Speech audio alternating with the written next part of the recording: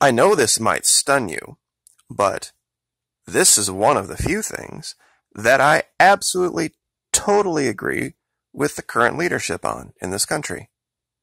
Fantastic. Build huge tent cities.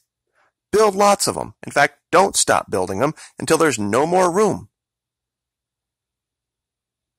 This is something I did a video on back in April. This is an article from 3 April. My video was 4 April, where Mr. Trump said that he was going to deploy the military to the southern border as opposed to building a wall.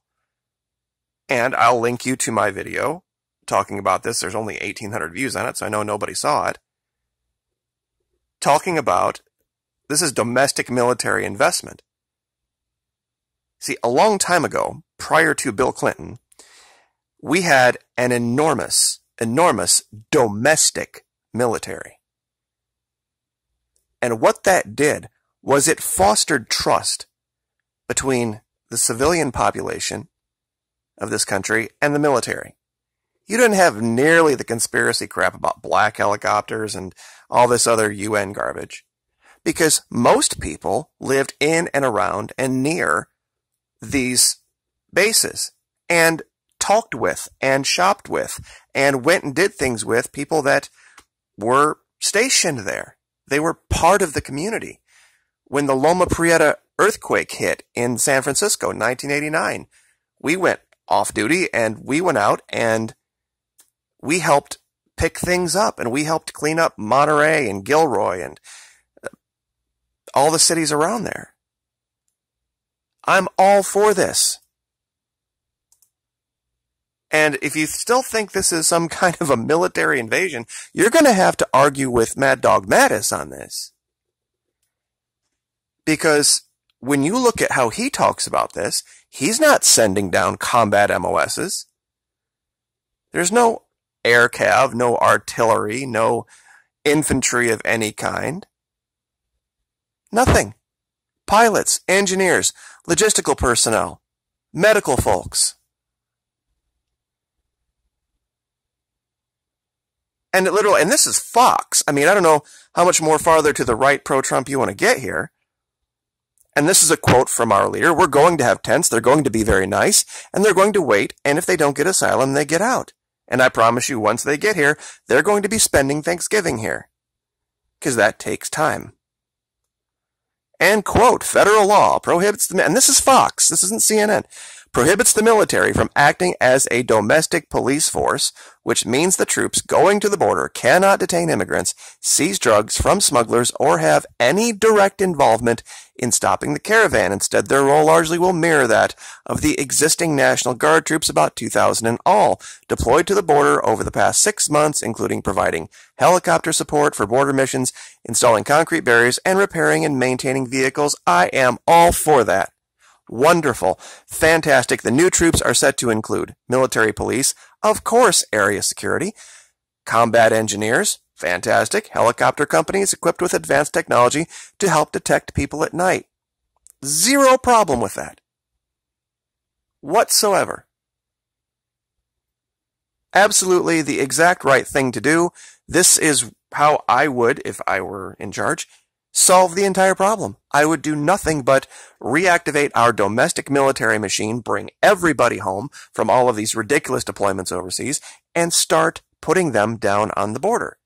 And I'd build one tent city after another tent city after another tent city.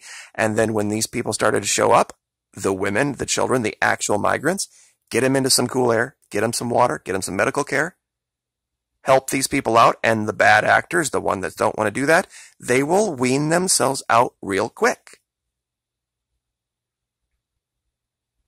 It won't be a hard thing to do. And oh, by the way, another great idea. And I know this is a people like, why are you saying nice things about Trump? Well, this, this is a great idea. This is the Asplundh Tree Company. $96 million penalty for hiring illegal aliens. I'd make it a felony if it was me. And I'd make a hundred million like the minimum penalty and you shut down for 10 years. If you want to fix this, Go after the people that are making the money, paying these guys dirt wages. I live, obviously, in Florida. You would not believe what I see on a daily basis down here. You'll see trucks with six or eight of these guys pile out and one big giant fat white guy driving it. And they'll go from place to place to place to place to place to place to place, cutting grass, trimming hedges, all this kind of stuff. And he'll roll out a big fat wad of cash, pay them all a bunch of crap, and drive off in his $50,000 truck and leave them to either grab a uh, collective Uber or walk or bus or whatever. All over the place. Nobody does a damn thing about it. They do it right in front of the police. It's sickening. And it happens all over. It happens all over in this country. And they've alleged that if we would just take 20 million or however many that were here and just kick them out, we would have a labor shortage, a huge labor shortage. Because there ain't no kids coming out of high school dreaming of mowing lawns 40, 50 hours a week or folding sheets or cleaning toilets or doing anything else, any of this blue collar stuff. And if you make the allegation, well, then maybe we'll start paying workers like this more and get back to more of a blue collar middle class. Okay. Big business is going to hate you. And the people who buy those products are going to hate you because the cost of a house is going to skyrocket. When you got to start paying the guys that carry the block, carry the brick, carry the 2 by 4 swing the hammers, 18, 20, 25, 30 dollars an hour. What do you think that's going to do to the price of a house? Because these guys that run these contracting companies, they're not going to take it out of their end. They're just going to pass it along. We don't have the workers. It's just that simple to do these jobs. We don't have them. And if you think we have them, you're out of your mind. We have people that want jobs, yeah, but not these jobs.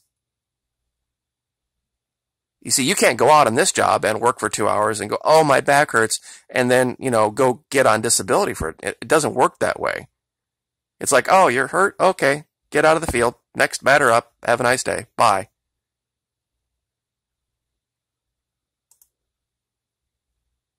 If you want to fix this problem, the reason they're coming here, there's work here. There's things to do here. There's ways to earn money here. There's not down there. Well, they do have jobs down there. You can be a prostitute. You can be a hitman. You can be a drug mule. You can be a lookout.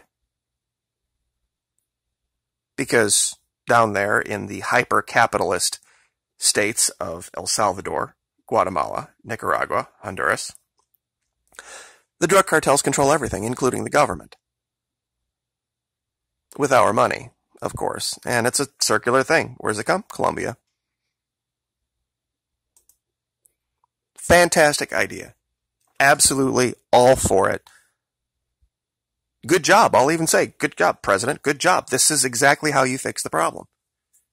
You don't go down there with a bunch of bricklayers and block layers and start constructing this massive, enormous, idiotic wall. Go down there, nice big tents with air conditioners. Give these people a couple of decent nights' rest and a bath and a couple of nice meals, and you would be amazed at what these people could bring to our country. You know? And process them right there. It's not like we don't have the work for them. And like I said, fine the employers. Find the people that are doing this. I'll guarantee you right now, if we really went after this industry, you can kiss goodbye Winnebago. You can kiss goodbye all of the major RV manufacturers because they do nothing but hire these cats. And all the way through Arizona, Florida, Texas, there wouldn't be anybody riding those weed eaters and those mowers and those air blowers, painting houses, chopping down trees, trimming limbs, it there's just not people in America that are willing to do those jobs. And it's sad. I mean, you can debate whether that's a good thing or a bad thing, but it just is. That's why they're here and that's why they're hired.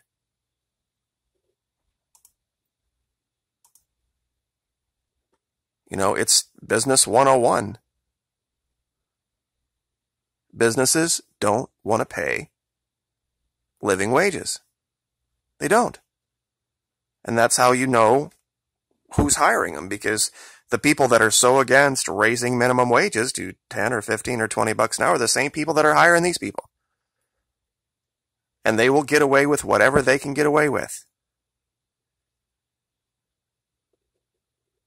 And these people know that they can't file an unemployment claim. They can't file a, a workers' compensation claim if they get hurt or they get injured or something happens to them that's heinous or horrible.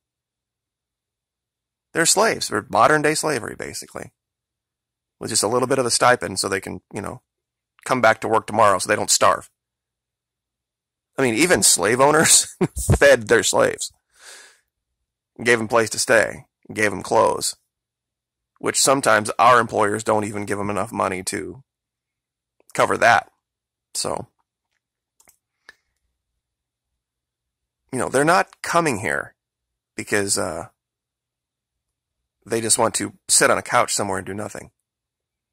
It's not in their nature. It's not in their psyche. It's not part of their culture.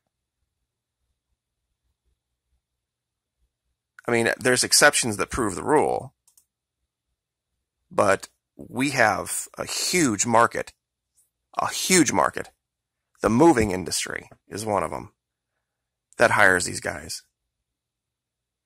They'll put three or four of these guys, eight bucks an hour on a truck all day. Have one guy who drives the truck. One legal guy. And people are used to paying cheap rates.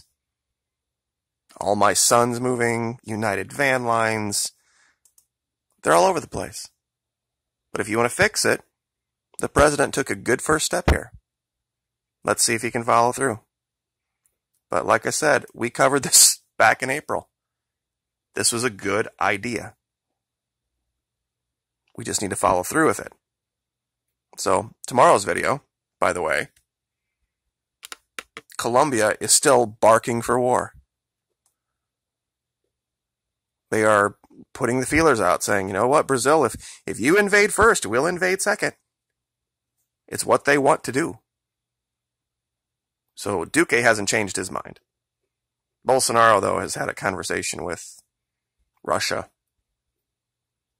So we'll leave it there. Like, share, subscribe.